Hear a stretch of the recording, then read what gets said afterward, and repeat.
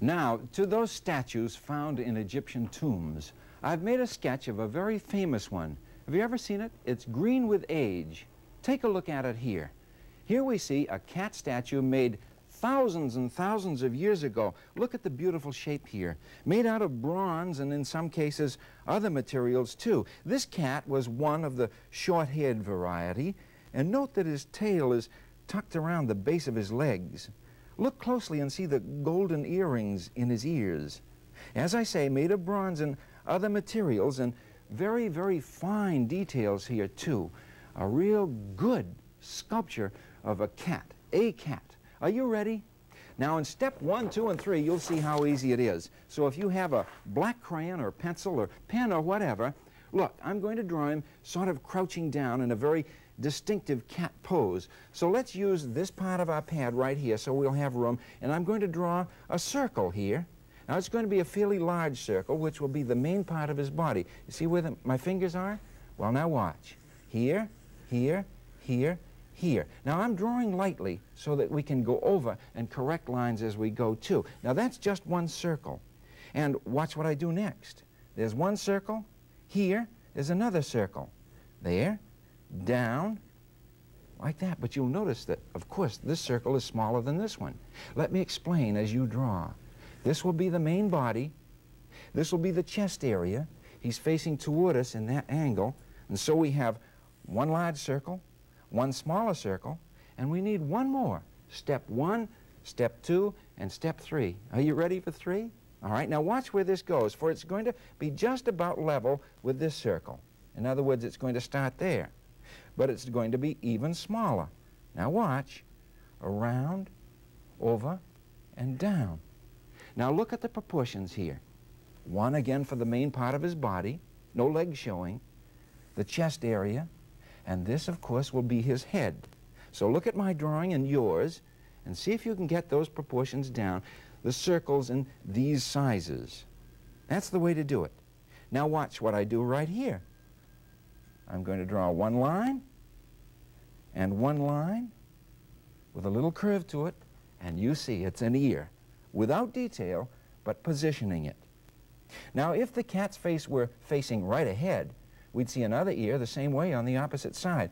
But because he's looking that way, maybe at a mouse over there, watch what happens to this ear. One straight line, a light one, and then the back of his ear would be shown in perspective, wouldn't it? But we would also see the open part of the ear there. Now, while I've drawn the open part of the ear here, why don't we do it here? Look at this ear.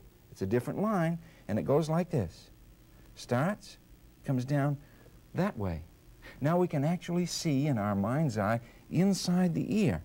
And there will be hairs there, too. And there will be hairs there, too. All right, now let's pay strict attention to the head. For now, we want to get just where those eyes are located. And this is very, very important. In order to locate the eyes, we must, again in our mind's eye, create the skull of the cat. Now, if it comes down that way, over the front of the forehead, and then moves out this way, here to about halfway through the circle, we'll have the line of the forehead and down to the muzzle or nose. That means that one eye will be here and the other one will be there. But let's locate them first as far as height goes. Again, look at halfway through the circle. You see, halfway, up, and move a little bit above halfway and do this. And watch where it goes. Right there, a light line.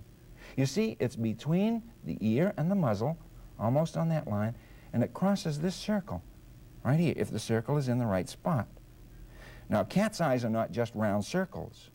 No, the eyeball itself is, but let's carefully draw in the size and shape of the opening for the eye. You know how cats are said to have almond or slanting eyes? That's why, because of the opening. But the pupil itself, the eyeball itself, is round. The pupil, of course, is a little different shape. But here again, there is that eye. Now how about the other one? Well, we come right up the muzzle here, and we find from this point up, we can draw this line, you see, but it's in a different perspective. There it is there. Good. And now, let's bring this line down again. Here, to match that one. Now we can see that the eyes are indeed looking that away. Right? Right they are. For detail in the eye, let's draw this line in a little heavier. For that shows the thickness of the lid and the shadow under it. Taper that shadow in this way. And now watch. One circle there, you see just part of the circle, and we begin to see what will be the pupil of the eye. The eyeball itself and the pupil. See, it's a slanted pupil. Sometime I'm going to tell you what makes a, a cat's eyes dilate, move up and down and open. They're very, very sensitive to light. Now let's get the other pupil in. Look closely. Here, just about halfway. Put it in like that, and the cat is already beginning to look at us. The next thing in order would be that nose, and we've established how the line comes down to it, haven't we? Have you ever looked at a cat's nose close to? All members of the cat family have different size noses, but they're all alike. If you'll draw a little upside down, well, no, let's call it a little diamond. Can you see that? And then one nostril on this side coming down to the point with a separation between the two. And note that I'm curving it too. That's it. And then over here, the other nostril and curve that line down. While we're right here, I'm going to take a red crayon. If you don't have one, it's all right, but I want to get the little pink color into this fellow. We'll draw a Siamese cat here, one of the short-haired varieties. We'll see more about him, too, as the program goes on. Now what I've done is just put a little pink color to that. I'll strengthen and color in the nostril, detail on the nose. And now watch. Right here, I'm going to increase the heaviness of that line coming down to send his nose out, curving down and then coming out just a little bit in that fashion. Now let's work on the shape of the head. First off, over here we can show some jagged lines denoting short hair. And curve it down to about that base. There, with short lines. And then, strangely enough, we're going to draw an opposite curve. You see, that doesn't look like the jaw of a cat at all there, but that's just the proportion. So, from this point, just beyond the eye, I'm going to make a curve, and this is important, to allow enough room for the jaw and chin. Curve it down to about there to start.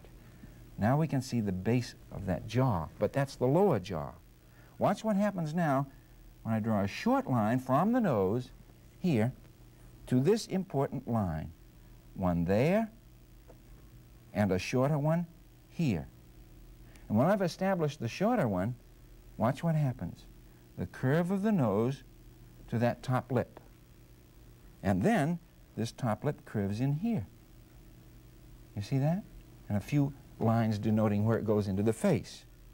Then the bottom jaw comes down to that point. And we can continue it. Now we begin to see this is indeed a cat's face with the jowls. Watch here now. A little separation of line, which as we go along in our steps, we'll see is the pattern of color on our cat. Can you see that? Just indicated in that manner. Up over the eye and down toward the nose and on the other side. Now for the head itself, I'm going to indicate that separation of the forehead. Then I'm going to go across here to that line and start to put in the detail on the ear, going over our sketched line again when we're sure that that's what we want. And then I'll bring out the forehead of the cat here and down and thicken up over that eye. Now we begin to see the other side of his face.